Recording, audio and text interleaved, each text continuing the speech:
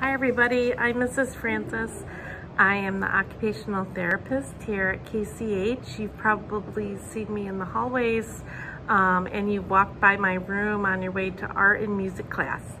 So today I want to give you a little bit of a video to show you uh, how I help some of the kids in school hold their pencil the right way.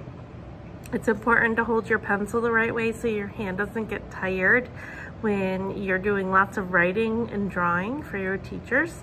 And sometimes I provide some of the students with pencil grips.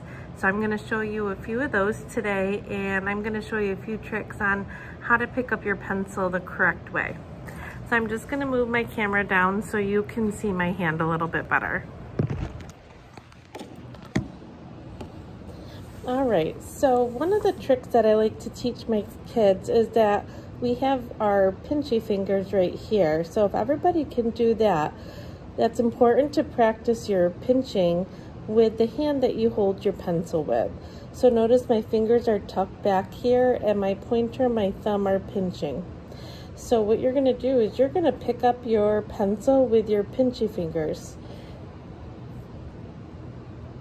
And you're gonna pull the pencil back into that space right there and then your middle finger is going to help support the pencil. And now you're ready for writing. I like to tell my students that there is a bone right here on your hand, and I like to call that the skateboard. So that bone, that skateboard is going to slide across your paper when you're writing. We don't want to write with our hand up in the air like that. We want to make sure our skateboard glides across the paper as we're writing, and our fingers should be doing the moving, not our whole hand. Okay? So that's another trick. So can everybody try to pick up their pencil? They're going to pinch it and then pull it back and then add that third finger on there. And we can practice moving it just with our fingers like this. Now some of you have probably seen a pencil grip that looks like this. It looks like two little baskets.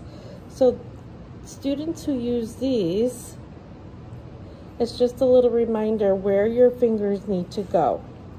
So it helps you with your pinching grip. And same thing, you're gonna hold it just like that and use your gripper until your fingers remember where they go on the pencil. This is another pencil grip that I have let some of my friends use. So, and this type of the grip um, that has the little wings on it, it helps you to tuck your fingers behind so that you're not grabbing the pencil with too many fingers.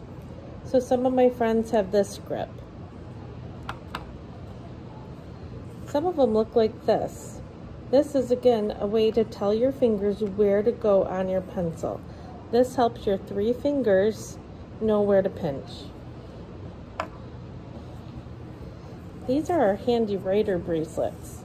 I've given these to a few students. So the way that you use this is you put it on your wrist like a bracelet and then the pencil goes in the little loop and you hold your pencil and this is a way to help your pencil come back so it's in the right position for writing.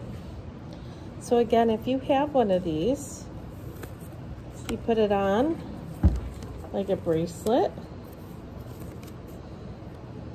and you stick the eraser part of your pencil in the loop and Get your fingers in the right place. I have pointer, thumb, and my middle finger is helping hold the pencil.